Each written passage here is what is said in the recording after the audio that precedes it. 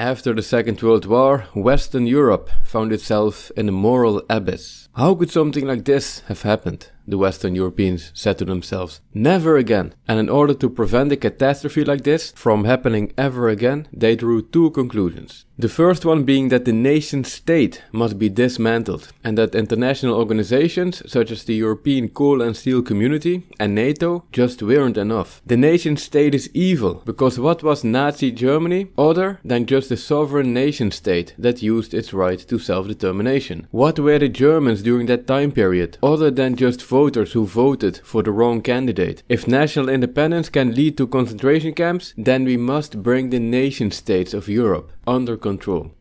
The second conclusion that they drew is that the right to rule should therefore not be derived from a democratic election, but instead from some kind of expertise. Because voters are stupid, sooner or later they will just elect some other dictator anyway. We need to make sure that the real power is not in the hands of the elected representatives of the nation states, but instead in the hands of a group of really good and decent people who are highly educated and skilled, because they will know what is right. And today, about 75 years after the end of the Second World War, Europe can quite accurately be described as a technocracy. A technocracy is a system of governance in which the decision making power in certain areas is in the hands of those who are considered to be experts in these respective areas. So the people who are in charge are quote unquote experts. They studied their respective area of expertise at a university and have accumulated an amount of working experience. And therefore you actually might think that to any reasonable person it actually sounds like a good idea. Because if you could choose, would you prefer to have society run by some stupid comedian who is good at public speaking and who won an election like that? Or would you prefer to have society run by a group of very capable experts who know what they're doing? It sounds very rational and wise to choose the group of experts over the comedian. In reality, however, the situation is a bit more complex than that. Let's really get to the core of this. What is better? Is it better to have the world run by free and independent nation states? Or would it be better to have the world run by a group of experts? It basically all comes down to the following question. Would it be the best for the entire world if some very smart and good people were to come up with a set of universal laws and would then force everybody to live according to these laws? The technocrats at the EU and the UN would answer this question by saying, look, we are very smart and good people. If you let us rule over you, it would be the best for the whole world. Never again would there be war, conflict or hatred. However, if you then look at this same question from the perspective of, for example, the Poles, the Polish people, it suddenly is the most worrisome idea there is. Because the Poles see themselves as a unique people who have their own moral framework to distinguish between good and bad, their own understanding of history, their own understanding of their own place in history, and they want to be a free and independent people and develop themselves in their own homeland in their own unique way. And their ancestors even gave their lives for that independence. So they would look at this very same question and say, no, go away, we rule ourselves. But who has it right? The technocrats in Brussels and Geneva or the Poles? According to the technocrats, the Poles are nothing more than potential fascists. Because what was Nazi Germany other than just an independent nation state? Independent Poland could become like Nazi Germany was. And according to the Poles, on the other hand, the technocrats are nothing more than potential communists. Because what else was the Soviet Union other than just another universalist empire ruled by a bunch of technocrats who believed that they had all the answers? The technocrats could radicalize and become like the Soviets were. And let's face it, both of these perspectives that both of these groups have of one another could potentially be true. A radicalized nation could potentially elect a dictator, and a radicalized class of technocrats could potentially turn into a group of dictators themselves. And of course, it goes without saying that both of these extremes are undesirable. But where is Europe as a whole today in the year 2020? Let's say that there exists a continuum, with on one side the nation that elects a dictator, and on the other side the technocrats that become dictators themselves. And let's think about where Europe right now, in the year 2020, is on this continuum. I'd say that we are not on one of the edges, but that we're also not somewhere in the middle. I'd say that we are about here, getting closer towards the technocratic dictatorship. Because sovereignty has been transferred for a very large part to the European Union and to the United Nations, and we are dealing with activist judges who are subtly making the decisions even though nobody elected them. And this movement in the direction of turning into a technocratic empire is being done based on the assumption that a Europe of free and independent nations is dangerous. And therefore it is believed that technocrats should be making the decisions in order to benefit all of humanity. But is is this fear of the free nation justified? And is the current technocratic situation of Europe really such a good idea in itself?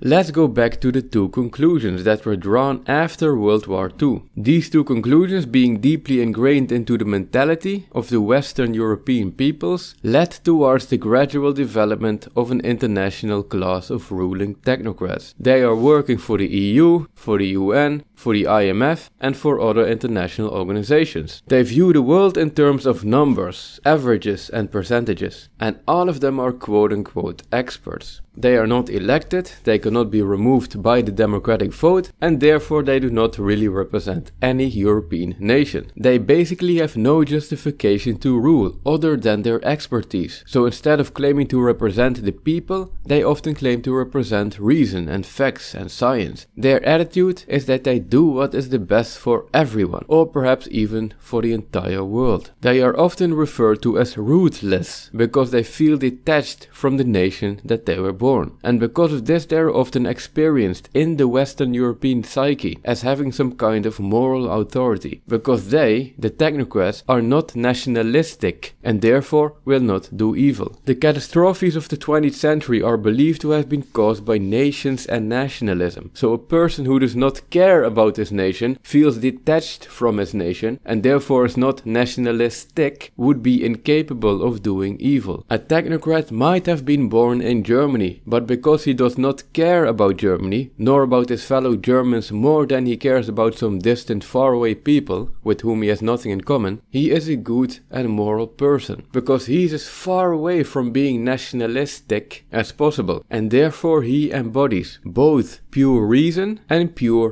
goodness. He is the ultimate product of the post-World War II Europe. And according to the worldview of this class of rootless, cosmopolitan, worldly technocrats, Brexit is the most scary thing they have ever witnessed. To them, a nation declaring its independence is something terrible, because if they, the experts, let these Brits decide for themselves what they will do, they could just do whatever they want. Perhaps they will even elect a dictator who will blow up the entire world, or something like that. And the technocrats are actually right, because who knows, perhaps the British will indeed indeed do something like that. Who knows? But is this fear really that reasonable?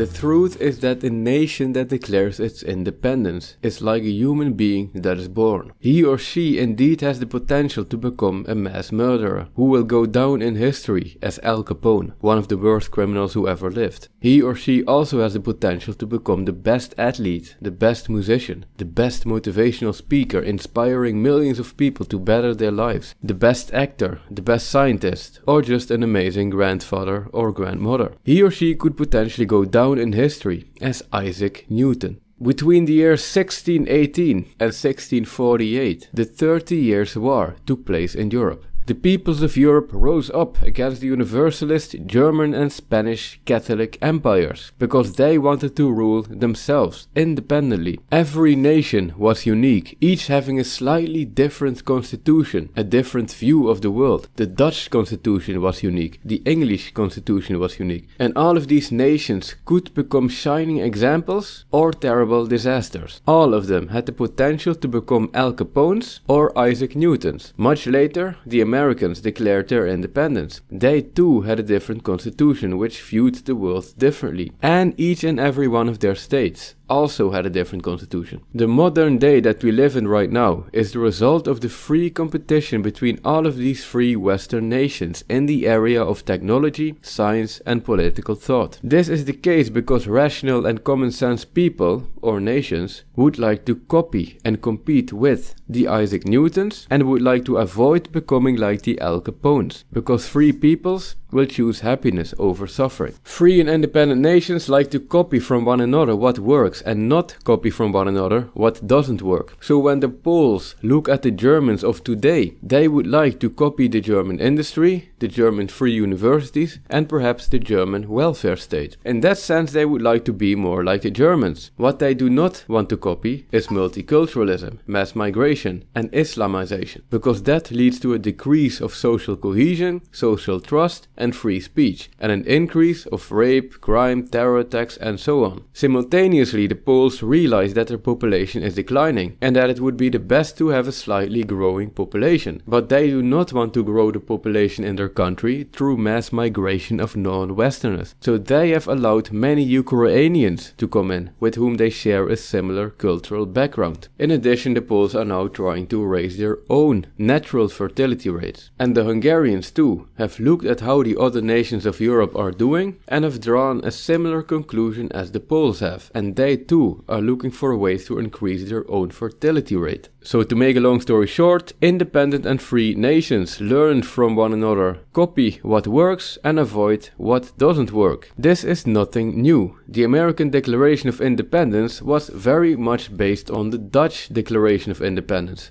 So the technocrats at the EU and the UN are saying the less independent nation states, the better for the entire world. What they do not understand, however, is that an independent and free nation has intrinsic value as an infinite range of possibilities. Each nation being unique, being allowed to develop itself in their own unique way, can turn its homeland into an amazing place in the world and an inspiration for all the other nations. And therefore, the more independent and free free nations, the better for the entire world. This doesn't mean, however, that international organizations must all be abolished. Every rational person would agree that international organizations that representatives of nations can go to for resolving conflicts about resources or territory are a good idea. Trade deals and multinational organizations can be very useful, good and beneficial, as long as they don't turn into governing entities. So is it perhaps the case then that a world of independent nations can work even though there exists a certain amount of risk? And in that case perhaps a technocracy would be a better idea anyway, because in that case perhaps there is no risk, because these people are, well, experts, right? But is it really?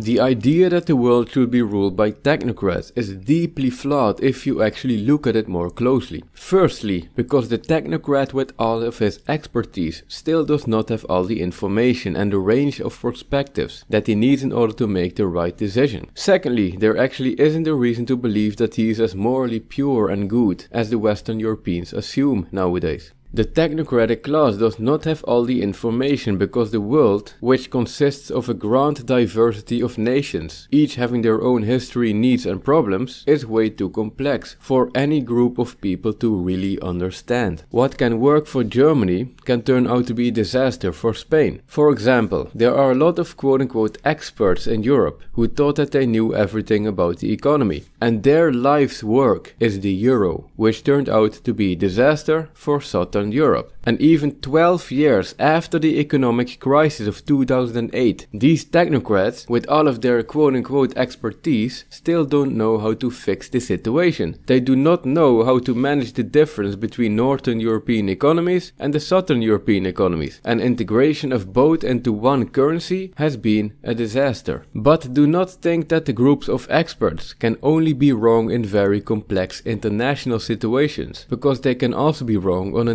national level. For example, the experts from the universities in Sweden thought that they could turn their country into a multicultural paradise. All of them were experts, and all of their papers and academic researches have been peer reviewed and according to the academic method. They were taken seriously by the media and by the Swedish people, which is something that deserves a totally separate video in itself. But the point now is that they turned out to be incorrect. Even though Sweden, a relatively small and homogeneous population of about 8 million Swedes isn't nearly as complex as the entire European continent. And this failure of so-called experts isn't unique to the European continent. In the United States, experts in the area of international relations thought that if they would allow China to access international trade organizations, that China would automatically turn into a Western democracy. And different American experts in the area of the Middle East thought that if they would remove Saddam Hussein from power, that Iraq would rapidly turn into a Western democracy. In 2001, the experts of the United Nations came with a paper called Replacement Migration. Is it the solution to declining and aging populations? And the technocrats in Brussels, Strasbourg and Geneva thought it was a great idea, because if you view the world in terms of numbers and percentages, it all makes sense. National debt, GDP, average income, a declining population, doesn't look good, Europe needs more people. The solution, in other parts of the world there are more people, so let's let's move those people from the other part of the world to Europe.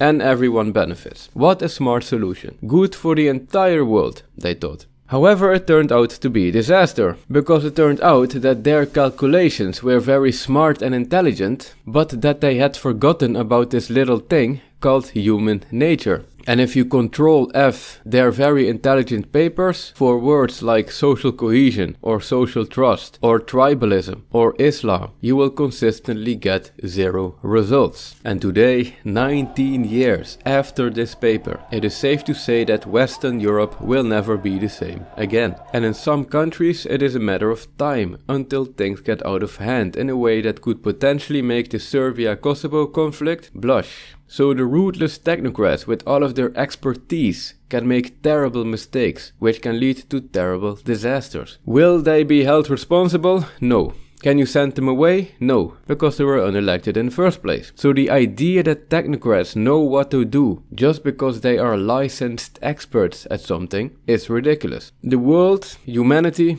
is too complex to be overseen by a centralized group of experts. And therefore decentralization is much better for dealing with a complex world than centralization. And decentralization at a European level basically translates to giving the decision making power back to the nation states. In addition, the cosmopolitan technocrat really is not as morally pure as is often assumed by most people in Western Europe. Just because a technocrat isn't nationalistic doesn't mean that he can't do evil. I am not talking about unintended evils, such as the consequences of the euro for Southern Europe, but also about intended evils. Because how do you really know that the class of technocrats can't become hateful, for example towards Brexiteers, or towards the Poles, or towards the Hungarians? They They've been trying very hard to declare the Brexit vote as illegitimate by arguing that the people who voted were uninformed and by arguing that the world is too complex for these voters to understand what is good for them. And how do you know that the technocrats from Western Europe can't look down with contempt on the more conservative nations of Eastern Europe? How do you know that the technocrats from Germany don't intensely hate the Italians for liking Salvini? How do you know that the lack of loyalty towards their own nation isn't a hindrance instead of a strength. Because how can they do the right thing if they don't really care that much about the peoples of Europe? And how can we even know that some of these technocrats aren't damaging the European civilization on purpose? Especially those technocrats who are from countries like Germany or the Netherlands, because too many of them actually have a quite hateful attitude towards European civilization and towards the Western world in general. How do you know that if the technocratic class in the EU was given the power over over European army. They wouldn't send it to Budapest to enforce their so-called European values with force. Of course they would do it in the name of reason and science and human rights. But if it really comes down to it, are these technocrats really that different from the type of people who ruled the Soviet Union? Because the Soviet Union was also ruled by people who were considered to be highly skilled. In 1986, nearly 89% of Politburo members were engineers. So the idea that a free, independent nation can potentially represent a huge danger to all of humanity, but that a class of ruthless cosmopolitan technocrats cannot, just because they're experts who are not nationalistic, is completely ridiculous. A free and independent nation electing a dictator could potentially pose a threat to all of humanity. But so can a class of cosmopolitan, ruthless technocrats. The elected dictator at least can be removed by the nation, assuming that democracy still functions. The class of EU and UN technocrats was never elected in the first place and cannot be removed by the vote at all.